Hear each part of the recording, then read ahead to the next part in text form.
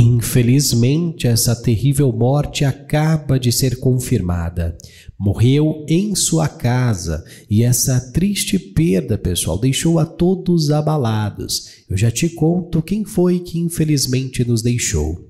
Temos notícias também que afeta diretamente a nossa querida Eliana, apresentadora, comunicadora de enorme renome e de enorme sucesso. Chega agora, pessoal, esta notícia que atinge a famosa. Também nós temos uma informação que afeta diretamente o nosso querido apresentador José Luiz da Atena. Chega neste momento esta informação, chega neste momento esta notícia, na onde acaba envolvendo diretamente o famoso.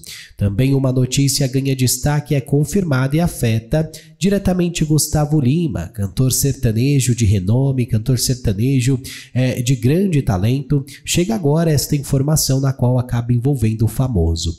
Também, pessoal, uma notícia afeta e atinge diretamente a nossa querida atriz Bruna Marquezine. Chega neste momento esta informação, chega neste momento essa notícia, na qual, pessoal, acaba envolvendo diretamente a famosa.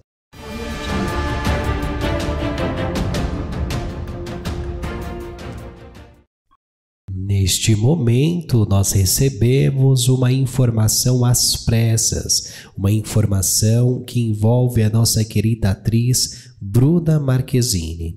Chega, pessoal, neste momento esta informação, chega neste momento essa notícia, na onde acaba envolvendo, na onde acaba afetando diretamente a famosa atriz. Segundo as informações que foram divulgadas e publicadas pelo site de notícias Observatório dos Famosos, a atriz Bruna Marquezine emocionou-se ao reagir ao ensaio de gravidez publicado por sua empresária e amiga Juliana Monsensante, que está esperando o primeiro bebê com o marido Marcelo Borges. Bruna aproveitou o momento para prestar uma homenagem à amiga na noite da última terça-feira, dia 2. Através dos stories do Instagram, a famosa compartilhou uma das imagens e acabou declarando, dizendo o seguinte: uma das minhas melhores amigas, minha confidente, parceira e também minha empresária, e uma das melhores profissionais com quem já trabalhei. Está esperando um anjinho, minha irmã mais nova. Esta foto aqui me pegou de jeito. Tô cheirando feito num trem-bala. Eu amo muito ela, sabe? Acabou dizendo a famosa artista Bruna Marquezine. É, Bruna continuou, pessoal, destacando a força e resiliência de Juliana. E ela é forte pra caramba, resiliente, ela passou por um monte de coisa difícil, difícil a beça de lidar recentemente, e ver ela com este sorriso me emocionou. Eu amo este cara aí também, que cara gente fina. Ver a felicidade deles me fez feliz. Ver esta família nascendo, eles realizando um sonho, reluzentes, nossa, aqueceu meu coração, acabou completando a famosa. Em tom de brincadeira, Bruna também mandou um recado para o bebê. Abre aspas. Ah, e eu te amo também, Tota. Muito, vem logo. Só esperar passar dia 22 de julho que você vai curtir mais ser leonina, acabou dizendo a famosa. Atualmente vivendo um romance com João Guilherme, filho do sertanejo Leonardo, Bruna já expressou alguns desejos para o futuro, como formar uma família e ter uma fazenda a declaração da atriz animou os fãs do casal, que ficaram esperançosos de que a relação, ainda não assumida oficialmente, dê grandes passos no futuro. Abre aspas, sonho em formar uma família e ter uma fazenda. Creio na falida instituição de casamento, e tudo o que faço é com o coração, disse ela em uma entrevista à edição espanhola da Ele de Julho. Mas e você, pessoal? O que, que você pensa sobre esta revelação feita pela atriz Bruna Marquezine? Qual é a sua opinião em relação a tudo isso? Deixa aqui abaixo nos comentários e agora já vamos para a próxima notícia desse vídeo. Recebemos neste momento uma notícia às pressas, uma notícia que acabou de ser confirmada, envolvendo diretamente o famoso cantor sertanejo Gustavo Lima. Esta informação acaba de ser anunciada e também confirmada em diversos portais de informação. Isso porque, segundo a apuração divulgada, pessoal, pelo site de notícias TV Prime, Gustavo Lima, um dos principais nomes da música sertaneja no Brasil, destacou-se como um dos artistas mais bem pagos por prefeituras para realizar shows no primeiro semestre deste ano de 2024. Segundo, pessoal, as informações que foram apuradas né, e divulgadas pelo portal Splash do UOL, o cantor, pessoal, acabou arrecadando um total impressionante de 11,8 milhões de reais, consolidando sua posição como um dos artistas mais requisitados do país. O levantamento mostrou que Gustavo Lima ficou em quarto lugar no ranking de cachês pagos por prefeituras sendo superado apenas por Wesley Safadão, Zé Neto e Cristiano e também Ana Castela. Wesley Safadão liderou a lista com um total de 19,5 milhões de reais, seguido, pessoal, por Zé Neto e Cristiano, que receberam 19,2 milhões e Ana Castela com 14,9 milhões de reais. A alta demanda por shows de Gustavo Lima reflete a sua popularidade. Conhecido como o embaixador, o cantor atrai, pessoal, grandes multidões por onde passa, justificando os altos cachês pagos pelas prefeituras que buscam levar entretenimento às suas cidades. No entanto, há uma grande polêmica em torno deste assunto. Os valores, valores pagos a artistas por prefeituras, não são isentos de controvérsias. Há debates sobre o uso de recursos públicos para financiar shows de grande porte, especialmente em cidades menores que enfrentam desafios econômicos para fornecer serviços básicos de educação e saúde a seus cidadãos. O sucesso de Gustavo Lima no primeiro semestre de 2024, refletido pelos valores pagos por prefeituras, é um testemunho de sua relevância no cenário musical brasileiro. No entanto, o uso de dinheiro público para pagar estes cachês continua a causar um grande debate.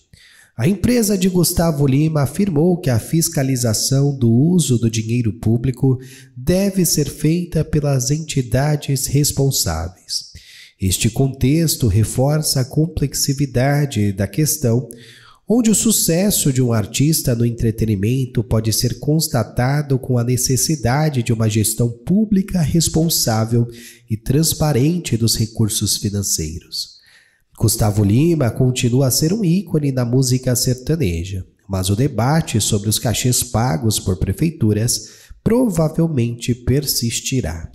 Mas e você, pessoal? O que, que você pensa sobre estes altos valores que são pagos a artistas de grande renome e de grande sucesso? Qual é a sua opinião em relação a esses dinheiros públicos que acabam sendo pagos a estes artistas para financiar os shows? O que, que você pensa sobre tudo isso, principalmente em cidades pequenas? Deixe sua opinião aqui abaixo nos comentários e agora, pessoal, já vamos para a próxima informação, para a próxima notícia desse vídeo. Acaba de ser confirmada uma notícia às pressas aonde, pessoal, envolve, aonde afeta diretamente o nosso querido José Luiz da Atena, apresentador, comunicador de sucesso, comunicador de grande renome. Chega, pessoal, neste momento esta informação, essa notícia, na qual acaba afetando diretamente o famoso. E eu já trago todos os detalhes. Antes eu apenas pergunto a você se você gosta de Datena, sim ou não. Já vai deixando aqui abaixo nos comentários. Pois bem, pessoal, segundo as informações apuradas pelo site de notícias TV Prime, José Luiz Datena é pré-candidato à prefeitura da cidade de São Paulo e por isso fez um acordo com a Band para se afastar da emissora. Em conformidade com a lei eleitoral, o apresentador tinha até o dia 30 de junho para decidir seu futuro. Optou por tirar férias do Brasil Urgente e não apresentará o programa por um período.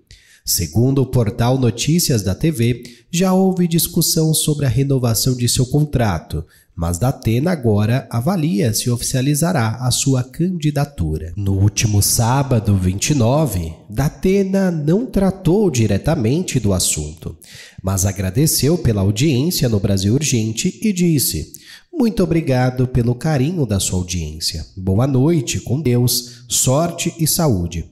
E até, concluiu ele. Lucas Martins assumiu o programa na Band desde a última segunda-feira, dia 1. De acordo com Flávio Rico, do portal R7, há a possibilidade de Felipe Garrafa substituir Lucas Martins, embora nada tenha sido oficialmente anunciado. Além disso, Datena acertou os valores contratuais com a Band antes de sair para suas férias, tendo até o final do ano para chegar a um novo acordo com a emissora. Datena já cogitou diversas vezes ingressar na política, mas sempre recusou.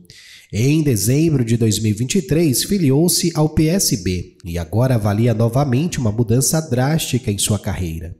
O apresentador foi mencionado como uma opção para o cargo de vice da deputada Tabata Amaral, mas muitos acreditam que ele pode concorrer à prefeitura de São Paulo.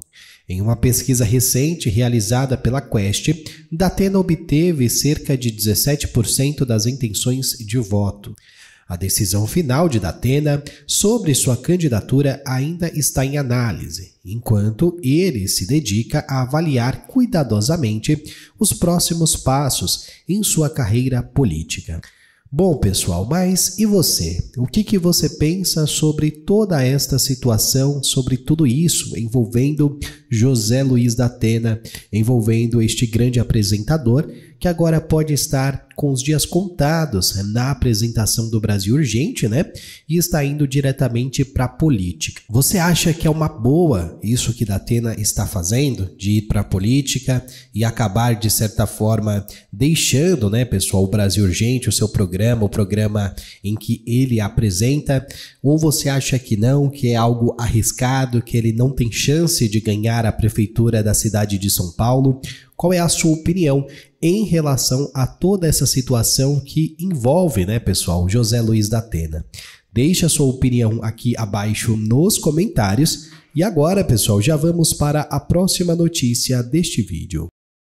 Agora chega uma informação, uma notícia, aonde, pessoal, acaba envolvendo, aonde acaba afetando diretamente a nossa querida apresentadora e comunicadora de sucesso, Eliana. Esta informação acabou ganhando destaque, sendo confirmada nestas últimas horas. Isso porque, segundo a apuração divulgada pelo site de notícias TV Prime, após deixar o SBT e acabar anunciando sua contratação pela Rede Globo de televisão, Eliana recebeu inúmeras mensagens de anônimos e famosos, celebrando o novo rumo em sua carreira. Entre as homenagens, Mara Maravilha enviou uma mensagem nas redes sociais que chamou bastante a atenção de Eliana. Com muito carinho, Mara desejou melhor para a nova empreitada profissional de Eliana e destacou a amizade que mantém fora da mídia. Em resposta à publicação afetuosa, Eliana fez questão de reconhecer o carinho de sua colega de profissão. Ambas são apresentadoras de longa data e têm uma relação amigável que transcende o ambiente de trabalho. Mara Maravilha manifestou-se após a mudança de Eliana para Globo e enviou um recado positivo dizendo as seguintes palavras: bênçãos, proteção, prosperidade, enfim, tudo de Deus para você em nome do Senhor, declarou Mara ao felicitar Eliana. Mara também falou sobre a amizade entre elas, dissipando quaisquer boatos maliciosos sobre o seu relacionamento longe das câmeras. Abre aspas, obrigada pelos conselhos. A nossa amizade vai além da mídia. Você já me provou isso, escreveu Mara, reafirmando a boa relação que cultiva com Eliana. Demonstrando seu habitual carinho, Eliana retribuiu a declaração afetuosa, agradecendo a Mara por seu apoio e torcida. Abre aspas. Querida, muito obrigada por todo o seu carinho e torcida, escreveu Eliana, destacando a boa relação com Mara Maravilha. Essa troca de mensagens carinhosas reflete o respeito e amizade entre as duas apresentadoras, mostrando que, apesar da competitividade no meio televisivo, há espaço para o apoio mútuo e sinceridade. Eliana, agora na TV Globo, e Mara Maravilha continuam a inspirar muitos com as suas trajetórias e com maneira positiva como interagem publicamente. Mas e você, pessoal? O que, que você pensa sobre toda esta situação envolvendo Mara Maravilha, envolvendo Eliana. O que, que você pensa sobre essa declaração feita por Mara? Você concorda? Você discorda? Qual é a sua opinião em relação à ida também de Eliana para é, a Rede Globo de televisão, depois que acabou deixando a emissora de Silvio Santos, o SBT? Qual é a sua opinião em relação a tudo isso? Deixe aqui abaixo nos comentários a sua opinião em relação a toda esta situação. E agora, pessoal, já vamos para a próxima informação, para a próxima notícia deste vídeo. Triste notícia de perda. Triste notícia de morte. Acabou de ser anunciada, acabou de ser confirmada agora, nestas últimas horas deixando assim seus familiares e seus amigos abalados e enlutados após essa triste informação de perda. Eu já te conto os detalhes e te revelo, pessoal, quem foi que infelizmente veio a perder a sua vida. Isso porque as informações foram trazidas, foram apuradas pelo site de notícias Rolling Stones que trouxe, pessoal, esta informação, trouxe esta notícia envolvendo diretamente esta grande e triste perda. Segundo, pessoal, as informações apuradas pelo site, o ator, pessoal, conhecido por participar de séries icônicas de comédia, como por exemplo a série A Hashtag Devolmente Sabrina, Aprendiz de Feiticeira e Dois Homens e Meio, faleceu na última quinta-feira, 27, aos 80 anos de idade, após, pessoal, uma valente luta contra uma doença que infelizmente o atingiu. A notícia acabou sendo confirmada pela sua própria filha, que trouxe esta informação de perda.